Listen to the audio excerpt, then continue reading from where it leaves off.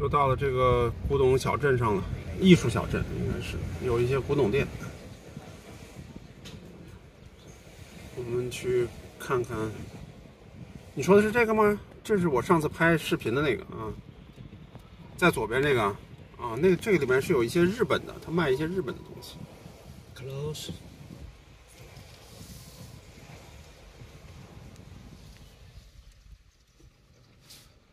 你要找个地方停车啊。嗯。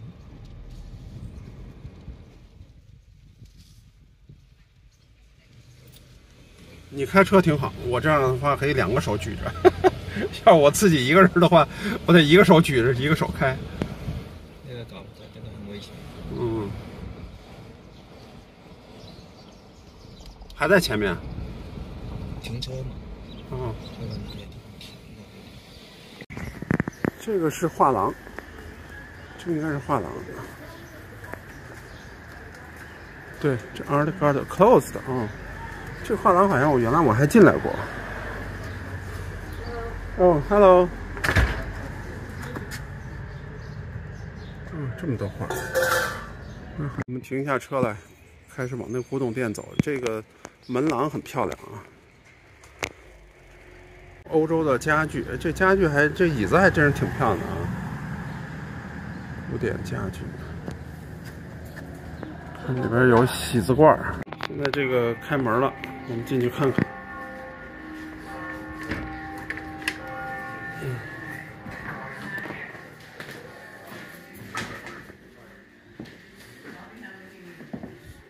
一对喜字罐晚清的。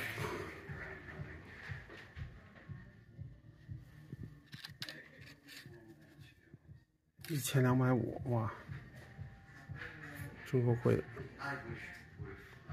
这一对肯定是老的。嗯，他这个喜字儿没写全，这肯定是老的。上次我一个朋友说这个喜字儿没写全，说是品相有问题，但是看来。就是这样的，这个喜字儿那就也没写全了，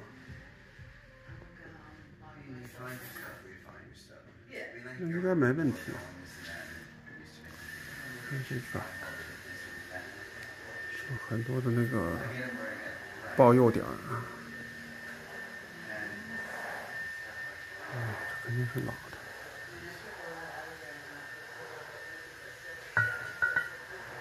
哇，真够大的这一对儿！上次有个小拍我碰到了，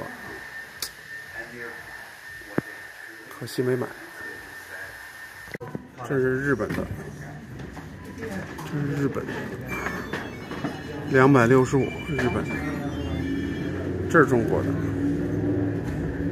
就跟我昨天那个花瓶的画片很像，也是雉鸡，两个雉鸡，关上加关。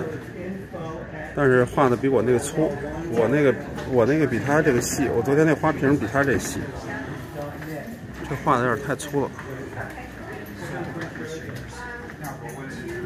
多少钱？六百二十五。天哪！Drill 的底下打了洞了。嗯，就是那看来也是被做成台灯了。这是老的，这肯定是老的。红拆那款的。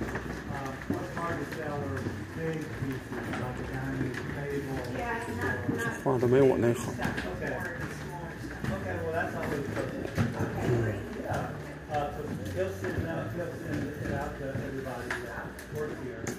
画的比较粗，这个胎也比较粗。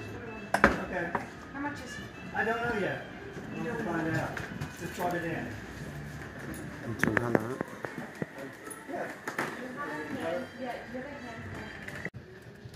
挺漂亮的，头戴花花的，广做这个卖了，这个也是细路的，嗯，粉彩画的挺不错的。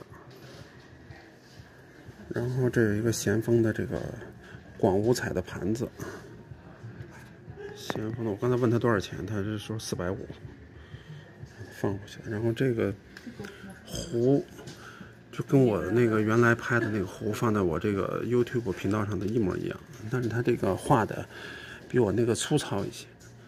这个它要八百五，而且吧，它这个口是有磕的，它要八百五，太贵了。不过它这确实有一些好东西。然后这是。乾隆时候的青花外销盘，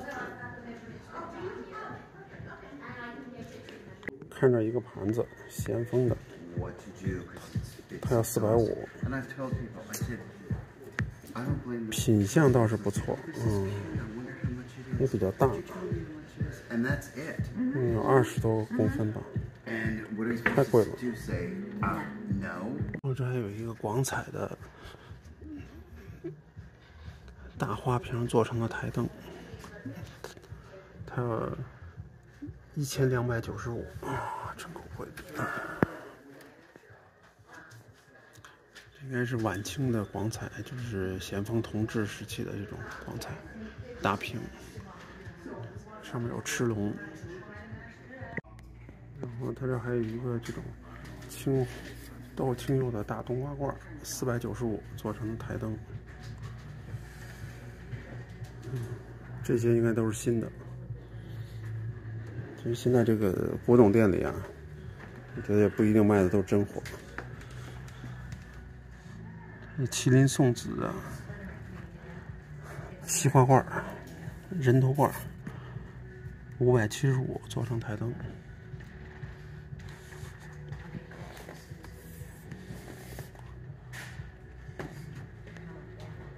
柜子里有一个欧洲做的这种小奶壶，嗯，做的其实还挺精致的，嗯，应该也是有年头了，还有五十八，上面还是堆塑的这花，挺不错的。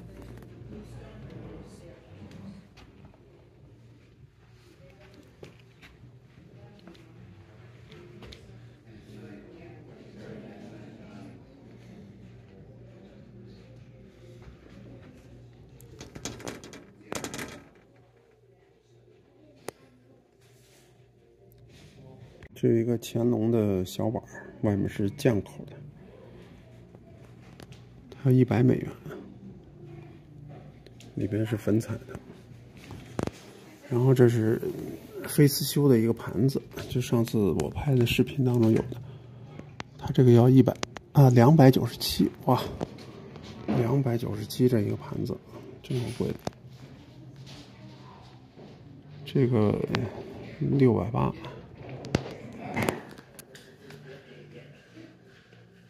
嗯，还有一个这个，这也是晚清的，两百九，画人物的。这画片倒是不多见。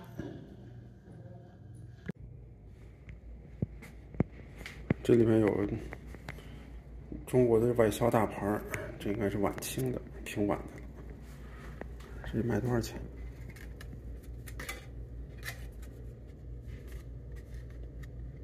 八百。上次那个北卡比他这还大，四十八，那绝对比他这个值多了。那个是我那个是乾隆的，他这个就晚清的，很晚了。是一个小汤盆应该是也是晚清的，两百五，小小的啊。这一个大汤盆这应该是乾隆的，看这画的这花儿。这种画法，莲蓬钮的，钮是个小莲蓬的，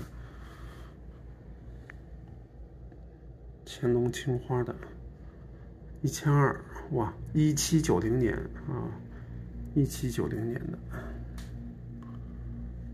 上次我碰到一个还带个托盘的，网上拍的，五百美元，我没要，我觉得这种。